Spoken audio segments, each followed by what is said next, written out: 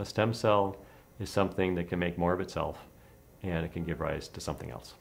So in your skin, if you go out and get a sunburn today, um, part of your skin actually sloughs off, and it's the job of the stem cell in your skin to replace those cells. It lives at the bottom of your skin. And in the adult, um, cells either make one or just a few different cell types, these stem cells. But if you go back early enough in the embryo, there's a cell that can make everything.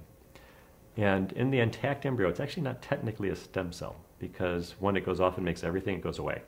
And a stem cell is supposed to be something that will replace itself. So it's really a precursor cell. But if you take it out of the embryo and you put it in tissue culture conditions that are just right, it'll divide and replace itself, as far as we know, forever. And yet it maintains to form everything in the whole body. And that's what an embryonic stem cell is.